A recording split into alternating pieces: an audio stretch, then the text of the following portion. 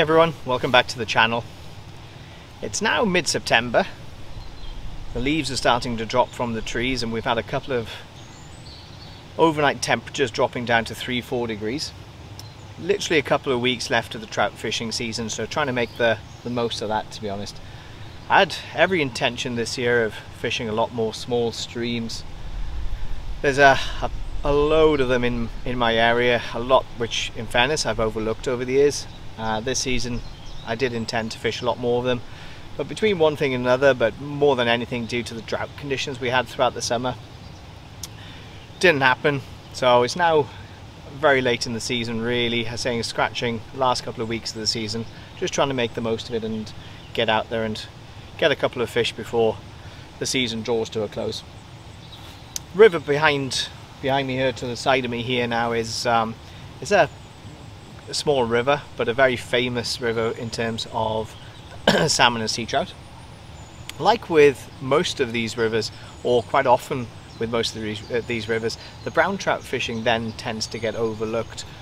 It's not because the trout fishing isn't any good, but the main focus on these rivers tends to be salmon and sea trout fishing, which in fairness I love because quite often then the, the, the trout don't tend to get the same fishing pressure and you can get some amazing day ticket sport. And this is day ticket water.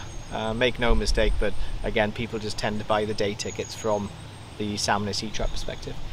So I've turned up. Again it's been cold overnight. I did expect it to be mainly nymph fishing today. So I've turned up with my Sage Sense 10 foot 3 weight which is my main nymphing rod. But in fairness I've seen a few fish rise already. So anybody that knows me if there's a fish rising I'd rather get it off the top no doubt, you know, there's going to be a couple of great nymphing runs, so we will end up nymphing at some point today. But if they are rising for the time being, let's get them on the dries. There's a few stonefly coming down, and then I'm seeing some midge. There's more midge, so they're probably more on the midge. But the other thing you should look out for this time of year, there's a load of leaves starting to fall just with the cold temperatures. And with those leaves, you tend to get a lot of terrestrials, a lot of ants, all sorts of bugs, basically food for, for the fish. And the fish know this, so if you get a, a, a steady stream, if you've got a, a white uh, froth or uh, basically it's a feeding lane, but if you get the, a concentration of the leaves coming down in a line, the fish tend to hang around there quite simply because that's where the main channel of food is coming down. And because of that, you want to fish more of a, a generic pattern. It tends to be smaller patterns, but more generic patterns rather than specific patterns as you would earlier in the year if you are definitely matching the hatch. So again we'll start with the dry and see how that takes us and probably end up nymphing and see see what we can pull out on that front as well. But uh, let's see what the, the day has in store for us.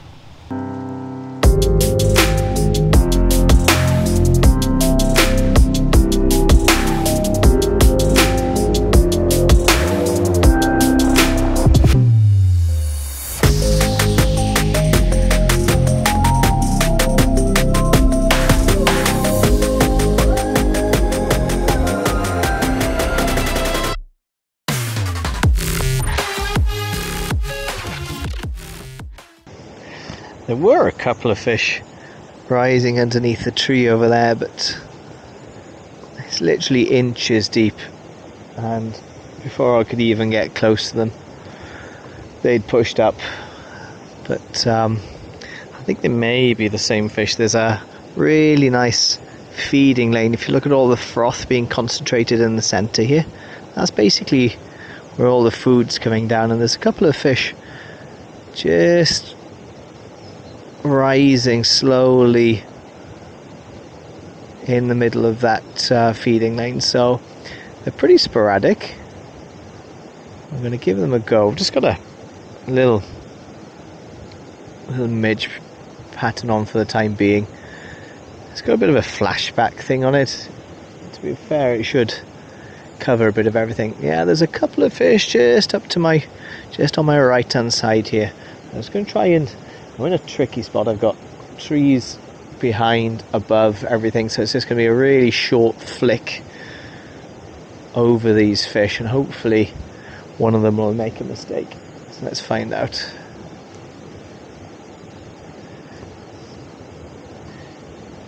Yeah, straight away. That's decent. Oh no! Oh man. Off. That's a decent fish too. Let him settle for a second. That's a decent fish, but first cast, he absolutely nailed it. So hopefully that's a sign of things to come anyway. Yeah, actually, the other fish, there was two of them feeding alongside each other. The second fish didn't seem to be too put off by his friend at friend's antics because he's straight back up. So it's going to dry the dry the wing off slightly and get straight back in. See if we can pin one of these for the camera. That was a good start. That was literally the first cast anyway, so at least we know the the fly works. Just going to dry the wing off a bit. Okay. It's pretty simple pattern. To be honest, it's not one of mine. I'm not sure where I've got it from. Um, thank you whoever gave it to me. It was on my patch, so that's what I went for. It's uh, yeah, a little little midge pattern. And saying it's got a little flash across the back. These fish liked it anyway. Okay, there's one a bit more in that feeding lane now. I'm going to try and get the fly over him. Looks a good fish again. Okay, that actually looks like a, a decent cast for him. Yep, he's got it. Oh, that's a nice fish. That's a good fish. Oh, that's a really good fish. Not quite what I was expecting, to be honest. Get away from that stick. Okay, good. I've got him away from the rest of the fish. Okay. Slightly bigger than what I thought he was, to be honest. He looks a good 18 inch or so. I don't want him to go bonkers here, to be honest. No, he's probably. Yeah, he's a good fish. He's, he's wrapped himself in the leader. Wrapped himself in the leader.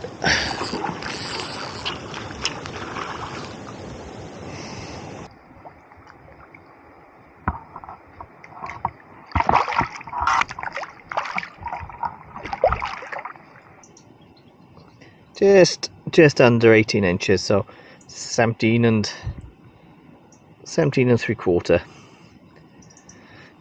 Cracking fish especially on the dries. Great condition too. Really great condition. Cockfish beautiful wild fish. Let's slip him back and hopefully we'll get some of his friends to play as well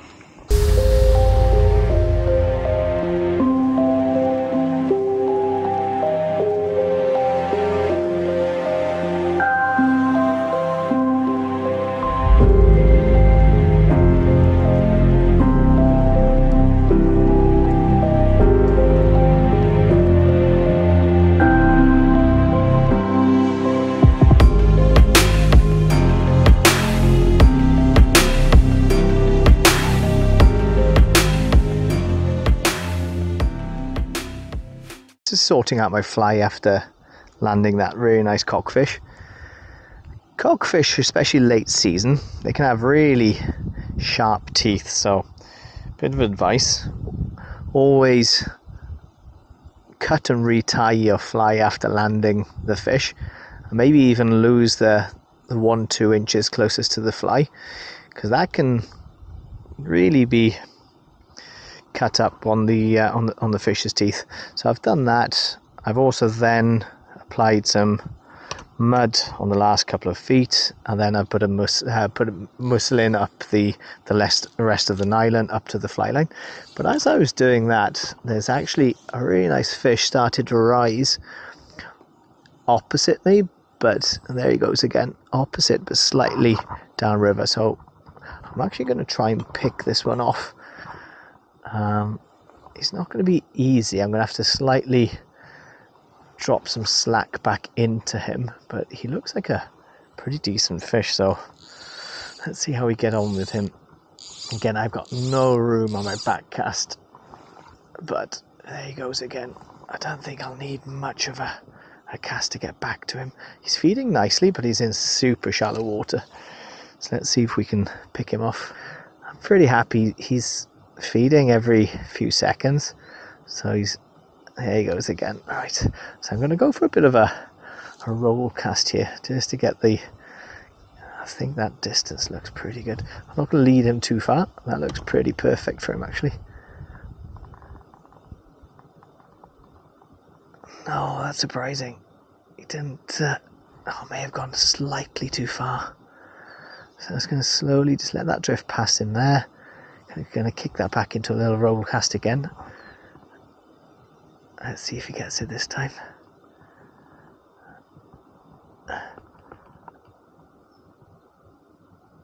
Fly just started to drag when I got to him that time. I was going to check the fly.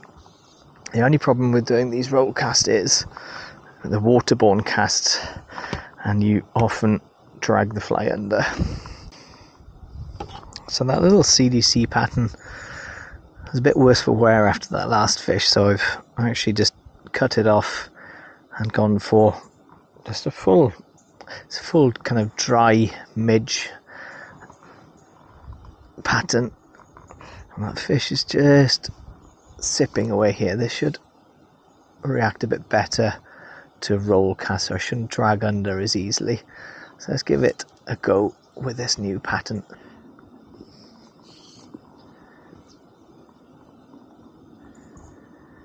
There he goes. Oh, bugger. Bugger, bugger, bugger. That was him. That's the only problem from this angle. I was always pulling slightly up and out of him. He took it. He took it.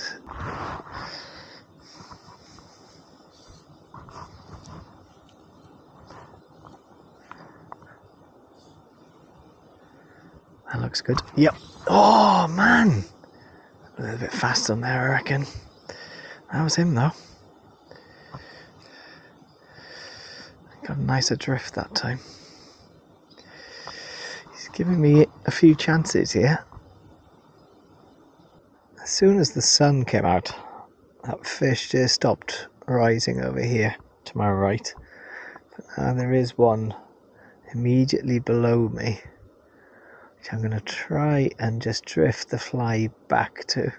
See if I can get him. He's in pretty skinny water, so actually I don't want to move too much from here because chances are if I do, I'll just end up spooking him. So what I'm going to do is just try and throw enough slack into the line to get back to him. He's moved a couple of times there, and actually I can see another fish just to the left of him. Actually, another fish moved back over there now. That's the first time he's moved over there. This guy, he's moved a couple of times. So let's see if we can. Uh, see if we can tempt him. But we'll just gonna have to throw a lot of slack in. Okay, that's good. Let's just drift the slack back to him. Yep, got him. Well, that worked. That worked. Oh.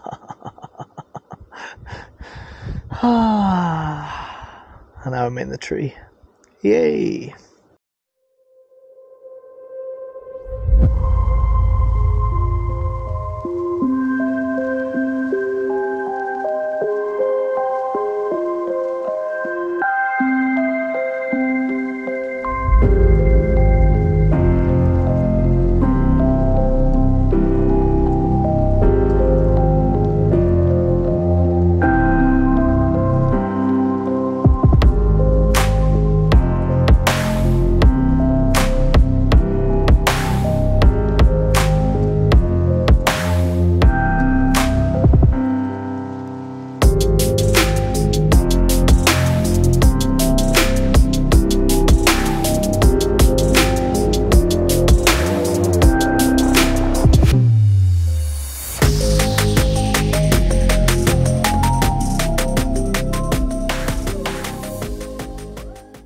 There's a couple of fish still rising sporadically, but for the main part, it's gone pretty quiet on the surface. So I'm just carrying the, the one rod, and again, it is a nympho rod, so I'm basically chopping and changing. So what I've done now is I've kept the, the dry fly tapered leader on, which is a 12 foot, I think it's 3x tapered leader.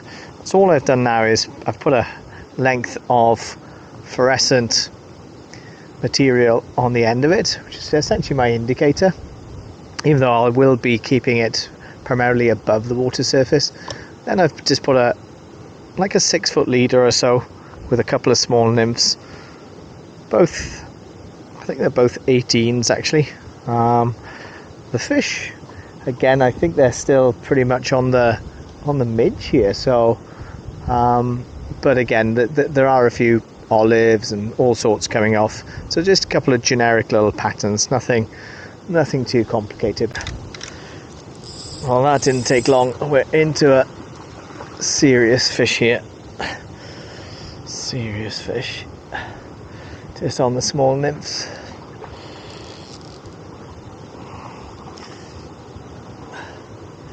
Good fish. Really good fish. Think he's actually on the dropper. Looks another good fish. Definitely um, might be bigger than the last one. I think, and I think this one may be closer to 20 inches. Yeah, must be. Good fish. And all these fish are wild as well, which makes them all the more special. This is a good fish. On that little size 18. Don't want to go too heavy on him.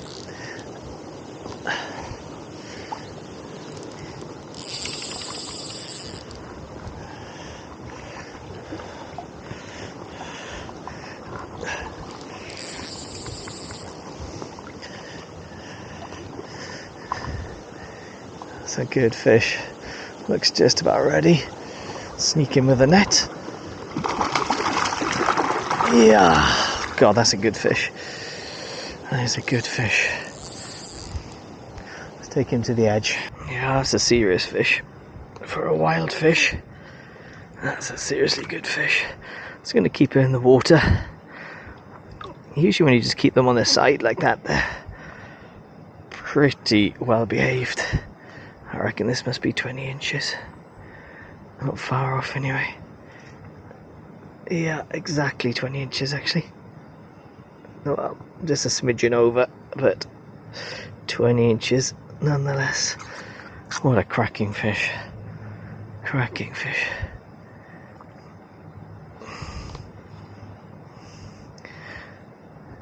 A bit of damage on the gill plate there. Otherwise, pristine.